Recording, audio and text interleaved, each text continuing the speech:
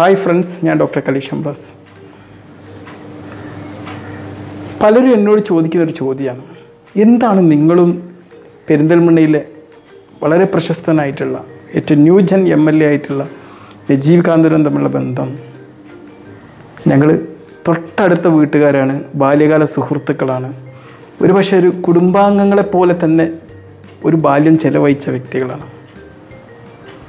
ഒരുപക്ഷെ എന്റെ വീട്ടിലെത്തിക്കഴിഞ്ഞാൽ സ്കൂൾ വിട്ട് കഴിഞ്ഞാൽ ഒറ്റ ഓട്ടാണ് നജീയുടെ വീട്ടിലേക്ക്. നജീബ് കാന്തവർ എന്ന് പറയുന്ന ഉദ്ദേശിക്കുന്ന നജിയുടെ വീട്ടിലേക്ക്. അവിടെ വീട്ടിൽ ചെല്ലുമ്പം അവന്റെ ഉപ്പ അവിടെ ഉണ്ടാവും. നല്ല കർഷകനായിട്ടുള്ള ഒരു അധ്യാപകനായിട്ടുള്ള അവന്റെ ഉപ്പ ഉണ്ടാവും. വളരെ സ്നേഹസമ്പന്നമായ വാക്കുകൾ കൊണ്ട് നമ്മളെ വിരുന്നു കൂട്ടും.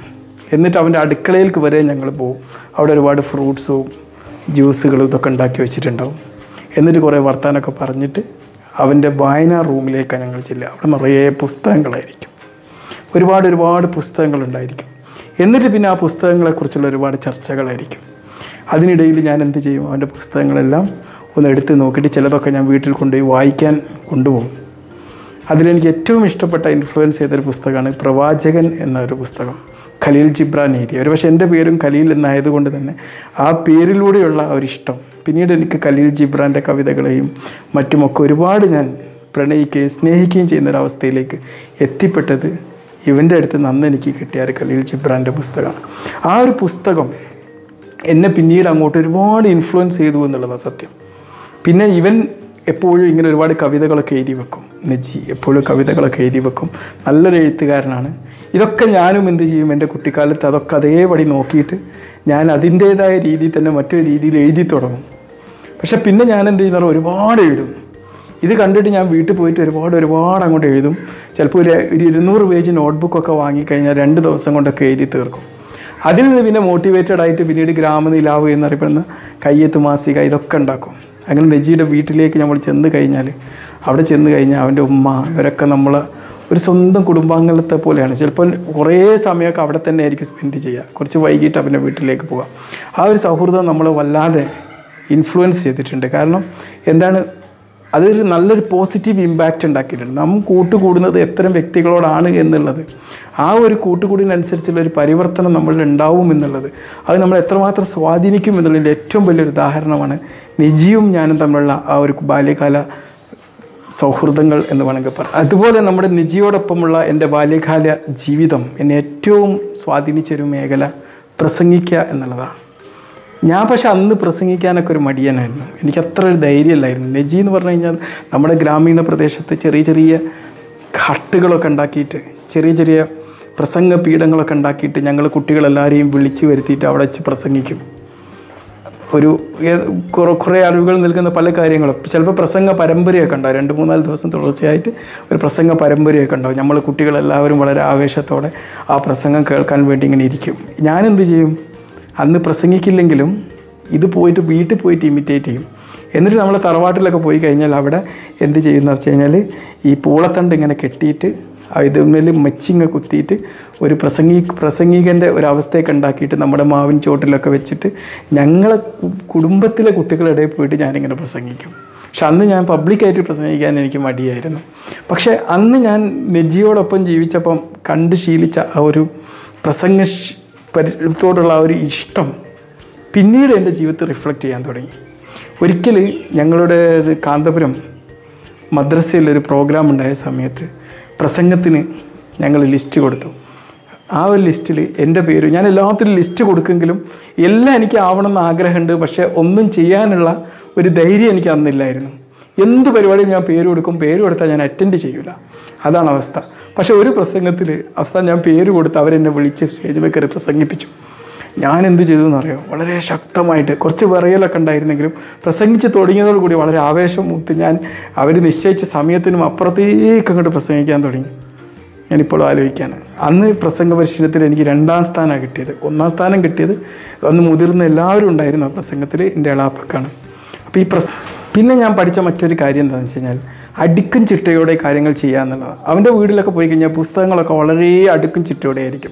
ആ പുസ്തകത്തിന്റെ ഷെൽഫിന്റെ അപ്പുറത്ത് ഒരുപാട് അലങ്കരിക്കുന്ന പൂക്കളും ഇതൊക്കെ ഉണ്ടാവും. ഒക്കെ വളരെ ഓർഡർ ആയിരിക്കും. ആ റൂമിൽ നല്ലൊരു സുഗന്ധമൊക്കെ ഉണ്ടാവും. പക്ഷെ ഞാനൊക്കെ എന്ന് പറഞ്ഞാൽ അതിന് നേരെ വിപരീതമാണ് വളരെ ഡിസോർഡർ ആയിരിക്കും. എന്റെ റൂം എന്ന് പറഞ്ഞു കഴിഞ്ഞാൽ അവിടെ ഞാൻ കിടക്കുന്നതിന്റെ അപ്പുറം അപ്പുറം ഒക്കെ കുറേ പുസ്തകങ്ങൾ കുറേ പേനകൾ അതിന്റെ അടുക്ക് കുറേ എഴുതി കൂട്ടിയ കാര്യങ്ങൾ ഞാൻ എന്താ വെച്ചാൽ നോട്ട്ബുക്കിലൊക്കെ എന്തെങ്കിലും പോയിന്റുകൾ ഇങ്ങനെ എഴുതി വെക്കണം എനിക്ക്. ഉറങ്ങാൻ സമയത്തൊക്കെ രാത്രിയൊക്കെ കിടക്കുമ്പോൾ എന്തൊക്കെയോ അവിടെ എഴുതി വെക്കും. ഇരട്ടത്തൊക്കെ ആയിരിക്കും എന്നാലും അത് എഴുതി വെക്കും.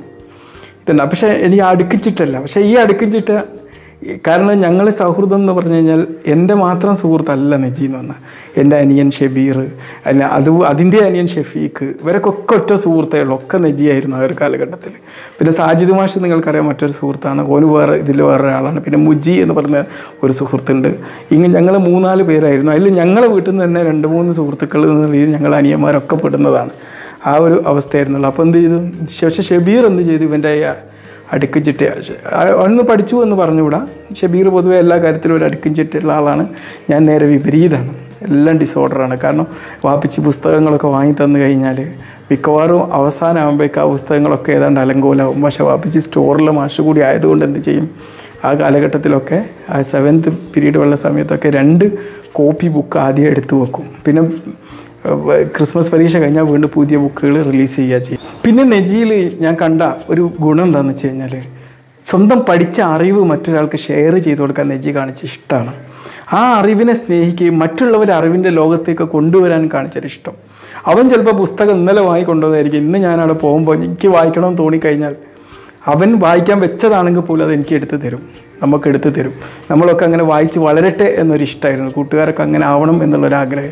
പിന്നെ അവന് നീന്തൽ പഠിപ്പിച്ച് തന്ന എന്നെ നീന്തൽ പഠിപ്പിച്ച ഒരു അധ്യാപകനാണ് നജി. അതുപോലെ തന്നെ സാജിദ് മാഷ് മുതന്നെ പഠിപ്പിച്ചിട്ടുണ്ട്. ഇപ്പോൾ രണ്ടുപേരാണ് എന്നെ നീന്തൽ പഠിപ്പിക്കുന്നത്. ഞാൻ നീന്തൽ വളരെ ബാക്കായിരുന്നു. ഇപ്പോഴും കുറച്ച് ബാക്ക് എങ്കിലും എന്റെ നീന്തലിന്റെ ബാല്യകാലങ്ങൾ പഠിപ്പിച്ചിരുന്നത് നെജിയാണ്.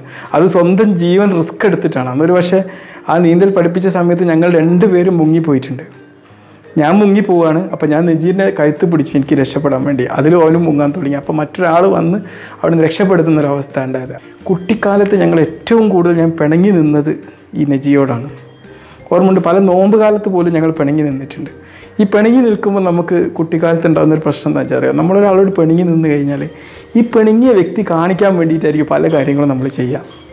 ചുരുക്കി പറഞ്ഞാൽ അവരോടൊരു ആത്മാർത്ഥ സ്നേഹമുള്ളത് കൊണ്ട് തന്നെ തലയിലും നമ്മുടെ ഹൃദയത്തിലും അവരെക്കുറിച്ചുള്ള ചിന്തകളായിരിക്കും പൂർണമായിട്ടുണ്ടാകുക. സ്നേഹത്തിന്റെ അതിബാഹുല്യത്തിൽ നിന്നാണല്ലോ ഈ പിണക്കുണ്ടാവുന്നത് അങ്ങനെ ഞാൻ എന്റെ ഏറ്റവും കൂടുതൽ ഞാൻ പിണങ്ങി നിന്ന ഒരു സുഹൃത്ത് ഈ ഭൂമിയിലുണ്ടെങ്കിൽ പലരോടും പിണങ്ങിയിട്ടുണ്ട് ഏറ്റവും കൂടുതൽ പിണങ്ങി നിന്നത് നെജിയോടെ തന്നെയാണ്. കാരണം അത് അന്നത്തെ ആ ഒരു ആത്മബന്ധം അങ്ങനെയായിരുന്നു. ഞാൻ ഇപ്പോഴും ഓർമ്മയുണ്ട് പല നോമ്പ് കാലത്തൊക്കെ ആ ഒരു പിണക്കം. ഇപ്പോൾ പള്ളിയിലൊക്കെ വന്നിരിക്കുമ്പോൾ നെജി അപ്പുറത്തിരിക്കും ഇപ്പുറത്തിരിക്കും. നമ്മൾ പല കാര്യങ്ങളും നെജി കാണി കാണാൻ വേണ്ടിയിട്ട് കാണിക്കുന്ന ഒരവസ്ഥ അന്ന് ഉണ്ടായിരുന്നത്. അത് ആ പിണക്കം വന്നത് എന്തുകൊണ്ടാണ്? ആത്മാർത്ഥമായിട്ടുള്ള ഒരു സ്നേഹബന്ധം ഉണ്ടായത് കൊണ്ട് പോലെ നെജി നമുക്ക് കാണിച്ചെന്ന മറ്റൊരു പാഠം എന്ന് പറഞ്ഞാൽ സൗഹൃദത്തിന്റെ ബാലപാഠങ്ങളാണ്. കാരണം ഞങ്ങളൊക്കെ അന്ന് നാട്ടിൽ തന്നെയാണ് പഠിച്ചെങ്കിലും നെജി ഏതാണ്ട് കുറച്ച് കഴിഞ്ഞപ്പോൾ ബോർഡിങ് സ്കൂൾ വളാഞ്ചേരിയിലൊക്കെയാണ് പഠിക്കുന്നത്. പിന്നെ ഫറൂഖ് കോളേജ്. അല്ല ഫറൂഖ് കോളേജ് ആയ സമയത്ത് ഞാനൊക്കെ പുറത്താണ്. പക്ഷേ ഈ പത്താം ക്ലാസ് കഴിഞ്ഞ ഉടനെ തന്നെ നജി വളാഞ്ചേരിയൊക്കെ പോയി വരുമ്പോൾ അവന്റെ സുഹൃത്തുക്കളെല്ലാവരും അവിടെ വീട്ടിലോട്ട് വരും. അവരും ഒരു വീട്ടിൽ അംഗത്തെ പോലെയാണ്. പ്രത്യേകിച്ച് നമ്മൾ ഓർക്കുന്നുണ്ട് വളഞ്ചേരി എന്നുള്ളൊരു മുജീബ്. ആ മുജീബ് ആ സൗഹൃദമൊക്കെ ഇപ്പോഴും അതേപോലെ മെയിന്റെയിൻ ചെയ്യുന്നുണ്ട്. ഈ മുജീബൊക്കെ അവിടെ എപ്പോഴേക്ക് വരും? ഇവർ വളരെ അന്ന് മലപ്പുറത്ത് നിന്നുള്ള ആൾക്കാരെ കാണുക എന്ന് പറഞ്ഞാൽ നമുക്കൊരു അത്ഭുതമാണ് അന്നത്തെ ആൾക്കാർക്ക്. അപ്പോൾ മലപ്പുറത്ത് നിന്ന് ആൾക്കാർ ഇവർ കുറച്ചുകൂടി ഫാഷനബിൾ ആയിട്ടുള്ള ആൾക്കാരൊക്കെ ഇവർ പുതിയ പുതിയ ഡ്രസ്സുകൾ ഇടയ്ക്കിടയ്ക്ക് നമ്മളൊക്കെ ആ ഡ്രസ്സ് മാറി ഇടാനൊക്കെ നമ്മളും കൊണ്ടുപോയിട്ടുണ്ട്. ഇപ്പോഴും സുഹൃത്തുക്കൾക്ക് വേണ്ടി എന്ത് ത്യാഗവും ചെയ്യാൻ തയ്യാറാവുന്ന ഒരു മനസ്സും അന്നുണ്ടായിട്ടുണ്ട് പിന്നെ വിട്ടുവീഴ്ച കാണിക്കുന്ന കാര്യത്തിൽ നെജി നമുക്കൊരു വല്ലാത്തൊരു മാതൃകയാണ് അപ്പം ഞങ്ങൾ എന്ത് ചെയ്യുന്ന പറഞ്ഞാൽ നെജി ഞങ്ങളെ കുടുംബമാണെങ്കിലും ഞങ്ങൾ ഏറ്റവും അടുത്ത കുടുംബം എന്ന് പറഞ്ഞാൽ എന്റെ ഇളാമന്റെ കുടുംബമാണ്. അപ്പോൾ ഞങ്ങൾ എളാമന്റെ കൂടെ എന്ത് ചെയ്യുന്ന പറഞ്ഞാൽ ഇടയ്ക്ക് നെജിന്റെ വീട്ടിൽ കൂടാൻ പോകുക എന്ന് പറയാം. രാത്രി കൂടാൻ പോകും. ഞാനും എന്റെ അനിയനും കുഞ്ഞുൾമേമന്റെ കൂടെ പോവുക ചെയ്യുക അവിടെ ചെന്ന് കഴിഞ്ഞാൽ ഞങ്ങളെല്ലാവരും കൂടി ഒരുമിച്ചാണല്ലോ കിടക്കുക. അന്നാണെങ്കിൽ എനിക്കും എന്റെ അനിയനും മൂത്രമൊഴിച്ച് പോകുന്ന ഒരു പ്രശ്നമുണ്ട്. അപ്പോൾ രാവിലെ പായൽ മൂത്രമൊഴിച്ച് കിടക്കുന്നത് കാണുമ്പം ഇവർ ചോദിക്കില്ല ആരാ മൂത്രമൊഴിച്ചതെന്ന് അപ്പം ഞങ്ങൾ എന്ത് ചെയ്യും? ഷബീറും എന്റെ അനിയൻ എന്നെയും കുറ്റപ്പെടുത്തില്ല ഞാൻ അനിയനെയും കുറ്റപ്പെടുത്തും. ഞങ്ങൾ രണ്ടുപേരും നെജിയെ കുറ്റപ്പെടുത്തുക നെജിയാണെന്ന് പറയും. അവനത് എന്ത് ചെയ്യും? അതിന് വിട്ടുവീഴ്ച ചെയ്തിട്ട് അവൻ ആ ഉത്തരവാദിത്തം ഏറ്റെടുക്കും. അവനറിയാം ഞങ്ങളുടെ ആരോ ഒരാളാണ് മൂത്രമൊഴിച്ചത്. അത് സൗഹൃദത്തിന്റെയും ഒരു ബന്ധത്തിന്റെയും കാര്യത്തിൽ കാണിക്കുന്ന ഒരു വിട്ടുവീഴ്ച അത് ഞാൻ നെജിയിൽ നിന്ന് പഠിച്ച വലിയൊരു പാടാണ് ഓക്കെ ഞാൻ പറഞ്ഞിട്ടുണ്ട് ഞാൻ എന്റെ എന്നെ എന്നോട് അടുത്ത വ്യക്തികൾ എനിക്ക് എന്ത് മോട്ടിവേഷൻ എന്ത് പാഠങ്ങളാണ് പഠിപ്പിച്ചത് എന്നുള്ളത് ഷെയർ എന്ന് ഞാൻ പറഞ്ഞ പണ്ട് വല്യപ്പ കാണിച്ച പാഠങ്ങൾ പ്രണവ് മോഹൻലാലിന്റെത് അങ്ങനെ പലതും ഞാൻ പഠി പറഞ്ഞിട്ടുണ്ട്. ഇനിയും പറയുകയും ചെയ്യും. ഇതുപോലെ എന്റെ ജീവിതത്തിൽ സാധിച്ച ഒരുപാട് വ്യക്തികളുണ്ട്.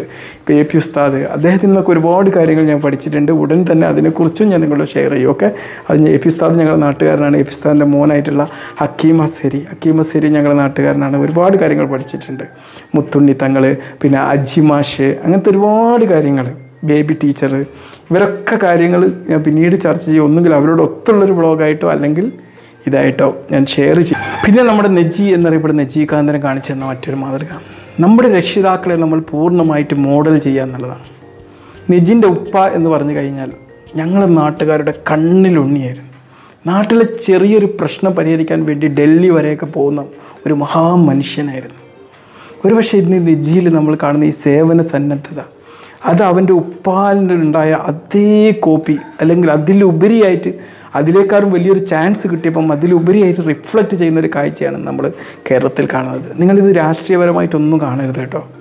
ഞാൻ ഈ പറയുന്ന സംഭവങ്ങളൊന്നും രാഷ്ട്രീയവൽക്കരിക്കാനോ നമ്മുടെ പൊതു രാഷ്ട്രീയ രംഗത്തുള്ള ആ ഒരു ഇടത് വലത് മുകളിൽ താഴെയുള്ള തർക്കങ്ങളിലൊന്നും ഉൾപ്പെടുത്തരുത്. നമുക്ക് മനുഷ്യന്മാരുടെ നന്മകൾ ചർച്ച ചെയ്യാനുള്ള ഒരു സംരംഭം. നമ്മളെല്ലാവരും മനുഷ്യരാണല്ലോ. നമ്മൾ ജാതിയുണ്ട് മതമുണ്ട് രാഷ്ട്രീയമുണ്ട് വ്യത്യസ്ത കാഴ്ചപ്പാടുകളുണ്ട് എന്നതിനേക്കാളൊക്കെ ഉപരി നമ്മളെല്ലാവരും ഒരു മനുഷ്യകുലത്തിലൊരു ഒരു ഒരു അപ്പോൾ അതിലെ നന്മകൾ ചർച്ച ചെയ്യാനാണ് നമുക്ക് കൂടുതൽ സമയം ഡെഡിക്കേറ്റ് ചെയ്യേണ്ടത്. ഇപ്പം ഞാൻ നെജിയെക്കുറിച്ച് പോസ്റ്റ് ഇടുമ്പം തന്നെ ചിലപ്പോൾ എനിക്കറിയാം. ഇതിനെ രാഷ്ട്രീയവൽക്കരിച്ചു കൊണ്ട് വേറെ രീതിയിലൊക്കെ വ്യാഖ്യാനിക്കാൻ ഒരുപാട് ആൾക്കാർ. അതൊന്നും വേണ്ട. അതൊക്കെ ഒരു പബ്ജി ഗെയിം പോലെയാണ് നമ്മൾ ഗെയിം കളിക്കുകയാണ്. നമ്മൾ ജാതിയുടെയും മതത്തിന്റെയും രാഷ്ട്രീയത്തിന്റെയൊക്കെ പേരിൽ നമ്മളിങ്ങനെ കുട്ടികൾ ഗെയിം കളിക്കുന്നത് പോലെ ഒരു വിർച്വൽ ലോകത്ത് നമ്മളിങ്ങനെ ഗെയിം കളിച്ചുകൊണ്ടിരിക്കുന്ന ഒരു അവസ്ഥയിൽ അത് ഓക്കെയാണ് അതൊരു എന്റർടൈൻമെന്റ് മാത്രമായിട്ട് എടുക്കാൻ പാടുള്ളൂ. പക്ഷേ നമ്മൾ റിയൽ സ്നേഹബന്ധങ്ങൾ നമ്മൾ മറ്റുള്ള മനുഷ്യർ നമുക്ക് കിട്ടുന്ന പാഠങ്ങൾ അത് മറ്റുള്ളവർക്ക് ഉണ്ടാക്കുന്ന ഇൻഫ്ലുവൻസുകൾ ഇതൊക്കെ നമ്മൾ എൻജോയ് ചെയ്യാൻ വേണ്ടത് ജീവിതത്തിൽ. പിന്നെ നജി എനിക്ക് കുട്ടിക്കാലത്ത് കാണിച്ചു തന്ന മറ്റൊരു പാഠം എന്ന് പറഞ്ഞു കഴിഞ്ഞാൽ നമ്മുടെ സ്നേഹബന്ധം ജാതി മത രാഷ്ട്രീയ അതിർവരമ്പുകൾക്ക് അപ്പുറമായിരിക്കണം എന്നുള്ളതാണ്. എല്ലാവരെയും നമ്മളൊരു കുടുംബാംഗത്തെ പോലെ അങ്ങോട്ട് സ്നേഹിക്കാം. അത് അവന്റെ വീട്ടിൽ ഞാൻ കണ്ടുകൊണ്ടിരുന്ന വലിയൊരു അനുഭവമാണ്. നമ്മളൊക്കെ വീടുകൾ അങ്ങനെ തന്നെയാണ് കേട്ടോ. എല്ലാ വീടുകളും അങ്ങനെയല്ല എന്നല്ല. നജി തന്നെ ഉൾക്കൊണ്ട് പാടുന്നത് ഞാൻ പറയില്ല. പക്ഷെ നമ്മൾ ബാല്യകാലത്ത് നമ്മുടെ ഒപ്പം ജീവിച്ചവർ നമ്മുടെ കുടുംബക്കാർ ഇവരൊക്കെ നമ്മളെ സ്വാധീനിക്കും. ഇവരൊക്കെ നമ്മുടെ ജീവിതത്തിൽ നമുക്ക് ഒരുപാട് ഇൻഫ്ലുവൻസ് ഉണ്ടാക്കും അല്ലേ? അത് അതുകൊണ്ടാണ് ഞാനിത് പറയുന്നത് നിങ്ങളോട് ഓക്കെ? അതിൽ വല്ലാതെ അതൊക്കെ ഇന്ന് നമ്മൾ കാണുന്നുണ്ടല്ലോ. ഈ നജി എന്ന് പറയുന്ന രാഷ്ട്രീയക്കാരിൽ നമുക്കറിയാം. അവനൊരു പ്രമുഖ രാഷ്ട്രീയ പാർട്ടിയുടെ ഒരു നേതാവാണെങ്കിലും അവന്റെ ആ ഒരു പ്രവർത്തന എം എൽ എ എന്ന പ്രവർത്തന മേഖലയിൽ രാഷ്ട്രീയത്തിനപ്പുറമാണ് അവന്റെ ഓരോ പ്രവൃത്തികൾ നമ്മൾ കണ്ടുകൊണ്ടിരിക്കുന്നത്. ഓക്കെ? അതങ്ങനെ വരുന്നതാണ്. അതൊക്കെ നമ്മൾ കുട്ടിക്കാലത്തേ ഉണ്ടാക്കിയെടുക്കുന്ന ഒരു പ്രോസസ്സിന്റെ ഭാഗം. നമ്മളിൽ എന്തെങ്കിലും നന്മ നഷ്ടപ്പെട്ടിട്ടുണ്ടെങ്കിൽ ആ നന്മയുടെ വേര് നമ്മുടെ കുട്ടിക്കാലത്തുണ്ടാവും. അതിനെ നമ്മൾ പുറത്തോട്ട് എടുത്തിട്ട് വീണ്ടും പരിപോഷിപ്പിക്കണം. നമ്മൾ എന്ത് ചെയ്യണം? നഷ്ടപ്പെട്ട നമ്മളുടെ നന്മകളെ എല്ലാം നമ്മൾ എന്ത് ചെയ്യണം? വീണ്ടും പുനരാവിഷ്കരിക്കണം. നമ്മളെ ഇന്നത്തെ ജീവിതത്തിലേക്ക് അതിനെ കൊണ്ടു പിന്നെ നെജി എനിക്ക് കാണിച്ചു തന്ന മറ്റൊരു കാര്യം അതിന്റെ ഉപ്പയും കാണിച്ചു തന്നാണത് വളരെ എളിമയുള്ള ജീവിതം. നമ്മളൊരു നമ്മളെ മുമ്പിലോട്ട് വരുന്ന വ്യക്തി നമ്മളെക്കാളും വലിയൊരു വി ഐ പി ആണ് എന്ന് കാണാം. അത് ഞാൻ നെജിയിൽ കണ്ടൊരു വലിയൊരു ഗുണമാണ്.